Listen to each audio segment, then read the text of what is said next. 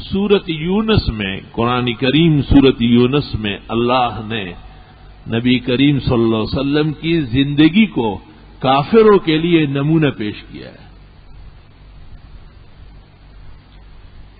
فقط لبستفی کو عمرم من قبلی اس نبوت کے دعوے سے پہلے بھی میں تمہارے ہاں خاصا وقت گزار چکا ہوں۔ چالیس سال گزار چکا ہوں۔ چالیس سال سے تم مجھے جانتے ہو۔ چالیس سال سے میں تمہیں جانتا ہوں۔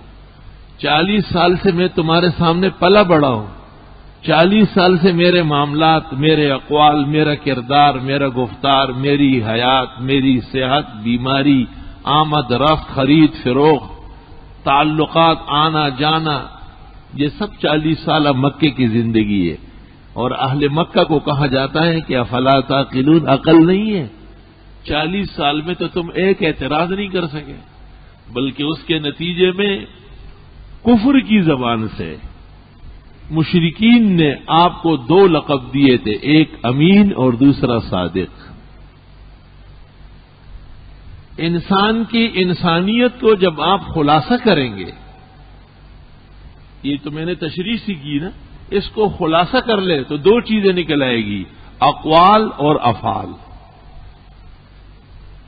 اقوال جب درست ہو تو اس کو صادق کہتے ہیں، اور افعال جب ٹھیک ہو تو اس کو امین کہتے ہیں۔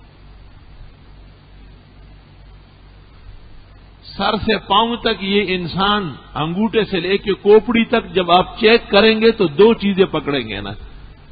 ماضا یقول اقوال کیسے ہیں؟ وہ ماضا یسن کرتوت کیسے ہے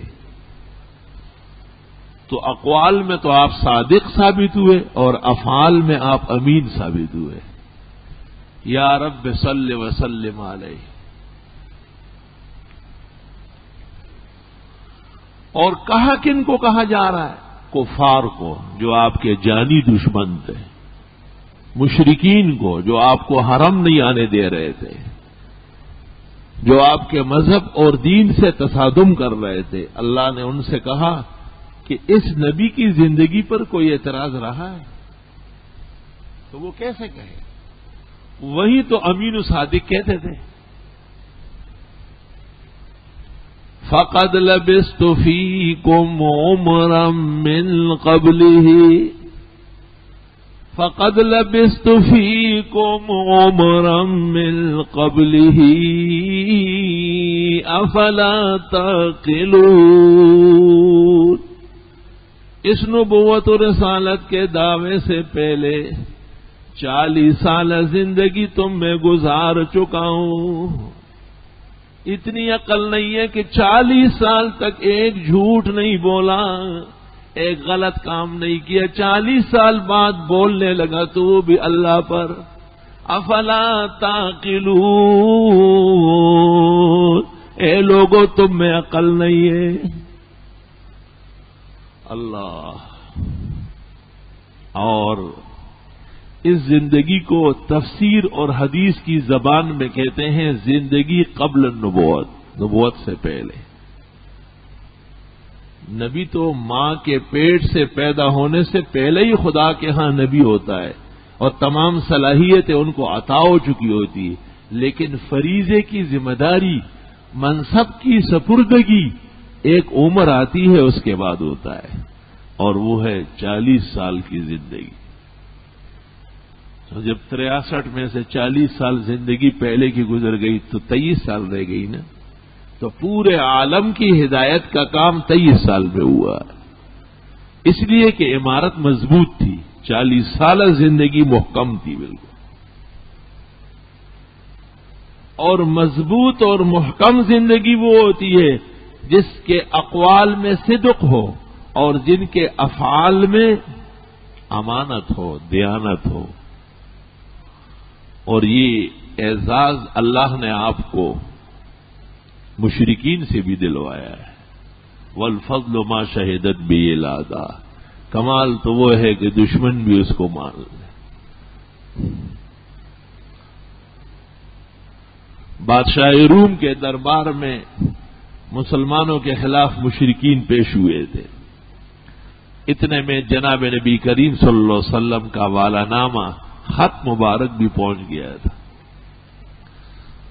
بادشاہ روم حیران رہ گیا کہ مشرقین شکایات لے کے گئے ہیں اور حضرت کا خط ان کے نام آئے ہیں اسلم تسلم، اسلام لے آؤ، بچ جاؤ گے، دنیا کے رسوائی سے، آخرت کے عذاب سے۔ اسلم تسلم انما ادو کا بدایت الاسلام، میں تمہیں خالص اللہ کی طرف دعوت دیتا ہوں۔ فین ابیتا اگر آپ نے انکار کیا فین نالے کا اسم علی اریسین تو نہ ماننے والوں کا سارا گنا آپ کی گردن ہوگا۔ یہ خط نبی کا، بادشاہ روم کے دربار میں پڑھا جا رہا۔ ہے وقل یا اہل الكتاب تعالوا الى كلمه سواء بيننا وبينكم الا نعبد الا الله ولا نشرك به شيئا ولا يتخذ بعضنا بعضا اربابا من دون الله اے اہل کتاب، یہ توحید کا مسئلہ تو آپ کا اور ہمارا مشترک تھا۔ اس میں تو اختلاف نہیں ہے۔ نبی آتے ہی ہیں مسئلے توحید کے لیے۔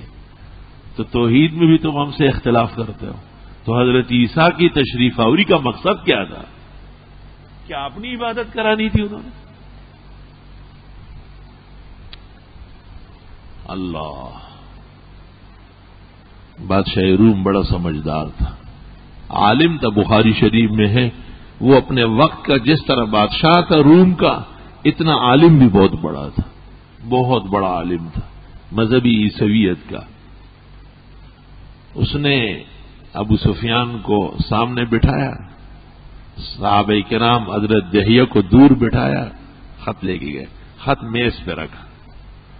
اور ابو سفیان جو اس وقت کافر تھا، اس کے ساتھیوں کو پیچھے کھڑا کیا۔ اور اس کو کہا، میں آپ سے نبی مدئی کے بارے میں سوالات کرتا ہوں۔ مجھے جوابات دے دو۔ اور لوگوں کو اس لیے کھڑا کیا ابو سفیان کی برادری کے کہ اگر یہ جھوٹ بولے نا تو یہ نوٹ کر لیں گے کہ درباری روم میں جا کے جھوٹ بولتے تھے۔ جھوٹا تو جھوٹا ہی ہوتا ہے، کسی کا باپ ہو یا بیٹا ہو، جھوٹا نہیں بچتا ہے۔ اگر باپ بھی کسی کا ہے تو بیٹا سمجھ لیتا ہے کہ ابا جی جھوٹ بول رہا ہے۔ جھوٹ اتنا جوروں میں کسی کے لیے معاف نہیں ہے۔ نستغفرک اللہم و نسلک السلام و العافیہ۔ تو دنیا کے اندر زندگی کا خلاصہ یہ ہے کہ اس کے اقوال میں صدق ہو اور اس کے افعال میں امانت اور دیانت ہو۔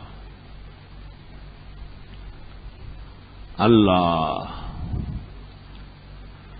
درباری روم میں جب ہیرقل نے ابو سفیان سے سوالات کیے ہاں، اور یہ سوال اس نے کیا کہ وہ نبی سچ بولتا یا جھوٹ بولتا؟ تو اس نے کہا کہ انہوں نے جھوٹ کبھی بھی نہیں بولا ہے۔ کہا وہ خیانت کرتا ہے، کہا کبھی بھی نہیں کرتا۔ آہت توڑتا ہے، کبھی بھی نہیں توڑتا۔ کہتا کیا ہے؟ اللہ کی توحید، اللہ کی عبادت اور شرک سے منع کرتا ہے، سختی سے۔ دس بارہ تیرہ سوالات ہیں۔ اخیر میں ہرقل نے کہا کہ یہ نبی برحق معلوم ہو رہا اور ایک دن آئے گا کہ جس جگہ آج میری حکومت ہے یہی اس کی جگہ ہوگی۔ اور اگر مجھے اس تک پہنچنا نصیب ہوا، تو میں ان کے پیر دھو لوں گا۔ یہ توریت میں اور انجیل میں بڑوں کا ادب لکھا ہوا تھا۔ اب بھی بعض ملکوں میں جب مہمان آ جاتا ہے، تو لوگ سب سے پہلے ان کو بٹھا کے پیر دھو لیتے۔ کیونکہ چل چل کے مہمان آتے تھے، پیر گردالود ہو چکے ہوتے۔ ہیں اسی سے پر پیروں پر ہاتھ رکھنا اور پیروں کے بوسا لینا آگے آگے بڑھتے چلے گئے۔ جس چیز کے اندر بھی شریعت کی رہنمائی وقت پر نہ ہو تو تماشا بن جاتا۔